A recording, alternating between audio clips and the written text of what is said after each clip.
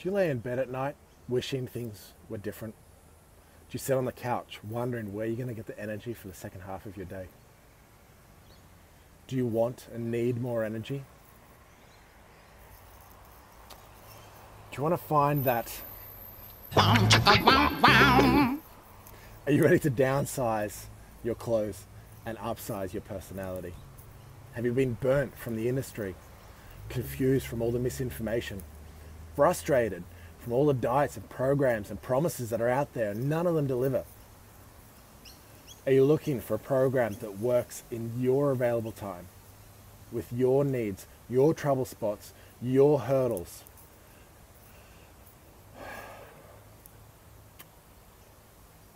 Do you want a coach who understands you?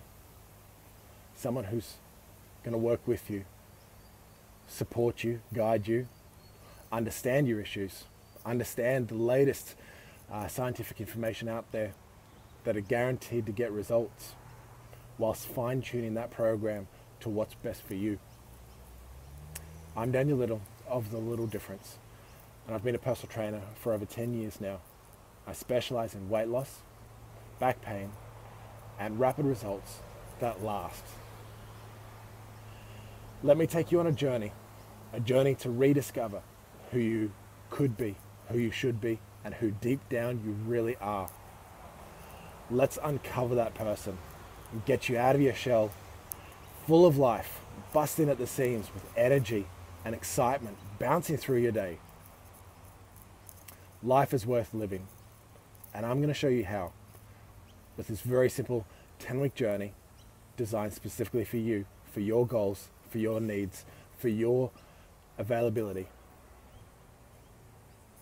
You don't think you have time? You don't have time not to. What is the first rule of first aid? Dr. ABC? Danger, response, airway, breathing, circulation. Even first aid tells us to look after ourselves first because when we look after ourselves, we have more capacity to serve others.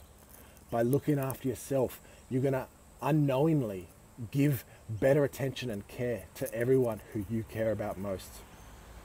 What's the rule when you're on an aeroplane and the gas mask strapped down? Put your gas mask on first because when you're looked after, you can look after others better. So don't just look after yourself. You're not putting yourself, you're not being selfish you're empowering you're, you're empowering others and you're refueling yourself.